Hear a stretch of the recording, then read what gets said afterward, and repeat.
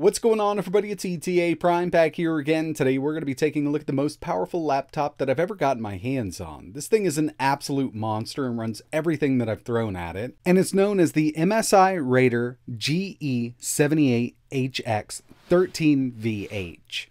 So that 13 definitely indicates we've got a newer CPU here. In fact, we've got 24 cores and 32 threads here of pure power because this is using the brand new Intel Core i9 13950HX. So obviously we're going to have tons of CPU power here, but uh, really when it comes down to gaming, we definitely need to worry about that GPU, and we're in luck because this is equipped with the NVIDIA RTX 4080 laptop variant. And this is the 175 watt variant with 12 gigabytes of GDDR6 VRAM. Now, the first thing I wanted to take a look at here was the overall I.O. When it comes to some of these newer laptops, they are lacking, but we've got quite a bit here with this Raider. Over here on the left hand side, we've got a 3.5mm audio jack, a 7.0 full size SD card reader, and USB Type C. This is USB Type C 3.2, so it will support display out. Moving over to the right hand side, we've got two full size USB 3.2 Gen 2 ports and another USB Type C 3.2 port here. Again, display out on this one and PD charging. And finally, around back, we've got a 2.5 gigabit Ethernet port, full size HDMI out, Thunderbolt 4, so this is full speed, 40 gigs, and we've also got the proprietary MSI power adapter. This comes with a 330 watt power supply because like I mentioned, this uh, 4080 in here is actually a 175 watt part, and the CPU can actually go up to 75 watts. So before we move any further, I do want to mention that I'd never be able to get my hands on a laptop like this without the help of Micro Center. They were kind enough to send this over for review, so this video is sponsored by Micro Center. If you're not familiar with Micro Center and you're a tech enthusiast, then you really should be. This is an awesome store that you can actually head in and put your hands on the product before you buy it. Whether you need a monitor, some RAM, a CPU, a GPU, Raspberry Pi, printer, Basically, anything tech related you can pick up in Micro Center stores. They've got 25 stores nationwide, with a new one opening in Indianapolis by the end of the summer and two more by the end of 2025. And by the way, if you sign up for Micro Center's email list and visit the Indianapolis store when it's open, you can get a 128 gigabyte flash drive for free. And right now, in all of their stores, they have a promotion going on known as Monitor Madness. So you can head over to Micro Center and check out the monitors on display to see which one you like the best. They've got really awesome discounts on a ton of them. Like for instance, if you wanted to go with something a bit cheaper, coming in at $80, you could go with this Acer 23.8 inch. It's full HD, so 1080p LED display at 75 hertz. Or if you wanted to go all out with it, you could go with something like this LG 26.8 inch 4K UHD display. Also supports NVIDIA G-Sync. So basically, whatever your tech needs are, Micro Center's got you covered. Okay, so jumping right into the specs here, this is known as the Raider GE78HX 13VH. Definitely a mouthful there. But for the CPU, we've got the new Intel Core i9 13950HX. 24 cores, 32 threads, and with this we get 8 performance cores up to 5.5 gigahertz. And when it comes to the efficiency cores, we've got 16 of them up to 4 gigahertz. So even if we were just running on those, we'd still get some really good performance out of this. For the GPU, we've got that NVIDIA GeForce RTX 4080. This is the laptop variant, 175 watt part with 12 gigabytes of GDDR6 VRAM, 32 gigabytes of DDR5 at 4800 megahertz, a 2 terabyte NVMe SSD. We've actually got two slots in the unit, so you can easily upgrade the storage. A 17 inch 240 Hz QHD display, which is absolutely beautiful. We've got that resolution of 2560 by 1600. This laptop actually has six speakers built in, and it's definitely one of the best sound systems that I've heard out of a laptop. We've got two 2 watt regular speakers, and we've got four woofers in this unit. It puts out some bass for what we have here. Wi Fi 6E, Bluetooth 5.3, and we've got a 99 watt hour battery with that 330 watt power supply that's included with the unit. And of course, when it comes to the operating system, we've got Windows 11. So you probably already noticed we've actually got a lot of RGB on this laptop. We've got that front Aurora bar and a SteelSeries 102 per key RGB adjustable keyboard. So it's fully customizable here. You can go in and adjust every single color on every single key with this unit, or you could just go into the SteelSeries software and choose one of the presets. And there's a lot to choose from. Personally, I like the Aurora preset gives us that greenish blue and purple. I think it looks really good, especially with that bar on the front set the exact same.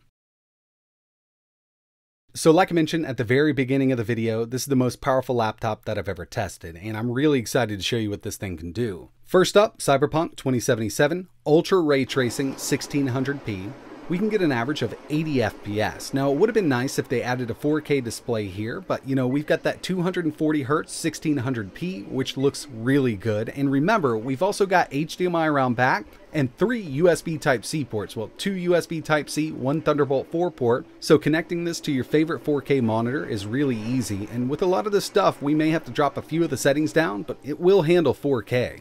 The next thing I wanted to do was take a look at a few benchmarks that I ran on this unit. And first up, we've got Geekbench 6, single core, 2671, multi, 16,865. I was blown away by seeing these scores, and it's absolutely amazing for a mobile chip, but you gotta keep in mind the CPU is pulling up to 75 watts. The next one I ran was Cinebench R23. We got a total multi-core score of 30,261. And this mobile chip is beating out that uh, 2990WX Threadripper, which is a desktop CPU. Next up, we've got some GPU benchmarks with 3D Mark. First one I ran here was the DirectX ray tracing featured test, and we got 55.73 FPS. With Firestrike, we netted a 32,084, and finally, TimeSpy with a stellar 18,385. So for synthetic benchmarks, this thing's really getting up there for a laptop, but uh, let's get back into some more real world gaming. Spider-Man Remastered 600p very high settings with no scaling. So I've got DLSS turned off. And of course, if you wanted to net a little more out of this, you could always enable it or even FSR. But with that 13th gen i9 paired up with this 2080, we don't need any kind of resolution scale with this game at 600p.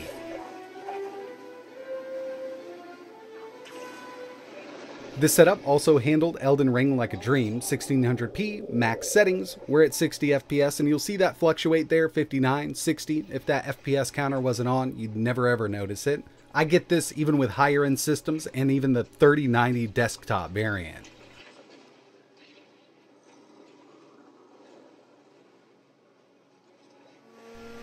Here's Dirt 5 1600p Ultra with no resolution scale. We're getting an average of 111 FPS. Uh, this is one of those games that taxes a lot of CPUs and GPUs, but it looks like this system here can push right through. And if we wanted to go up to 4K with this, I'm not sure if it would hang at Ultra, but we could drop a few of those settings down and certainly get over 60 with it. I always like throwing at least one fighting game in, so here's Mortal Kombat 11 1600p max, and I know for a fact that it'll run this at 4K. I've connected this to a larger monitor, and we'll take a look at that by the end. We're going to test out God of War there at 4K, ultra settings, no DLSS. But obviously, when it comes to fighting games, you're going to be good to go on a setup like this.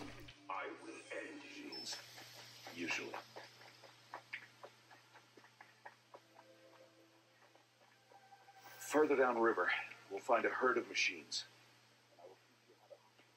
Are they dangerous? All machines are dangerous. Here's Call of Duty Modern Warfare 2 1600p, no resolution scale, so we're not using DLSS or anything like that. And I've set this to ultra settings. We got an average of 148 FPS and a low of only 88. So yeah, I mean, this is one of those games you can play all day on a system like this. And the final thing I wanted to show off here was some 4K gaming. So I've just connected the laptop over HDMI to one of my 4K displays. We've got God of War, no DLSS, ultra settings, and it'll net us an average of around 74 FPS. So we're maxed out here at 4K on this laptop, and it looks absolutely amazing.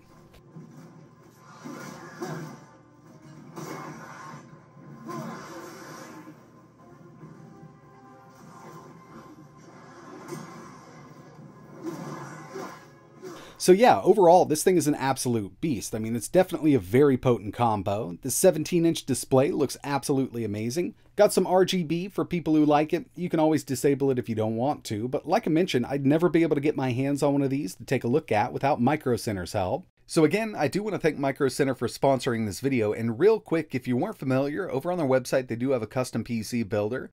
So from here, you can select each and every part. It'll tell you if it's in stock and what store it's in stock at. Once you get everything selected, they can have all the parts ready for you in store within 18 minutes. And if you don't feel like building it, they also have an option where they can build it for you. It'll definitely save some people time and headache of kind of troubleshooting if something doesn't go right the first time you try to boot it up. So yeah, that's an awesome option.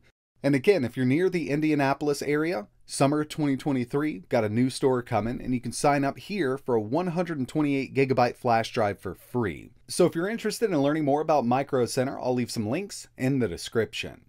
But that's going to wrap it up for this video. Really appreciate you watching. If you've got any questions or if there's anything else you want to see running on this laptop, just let me know in the comments below. And if you're interested in learning more, links for this specific one will be down below. But that's it for this one. And like always, Thanks for watching.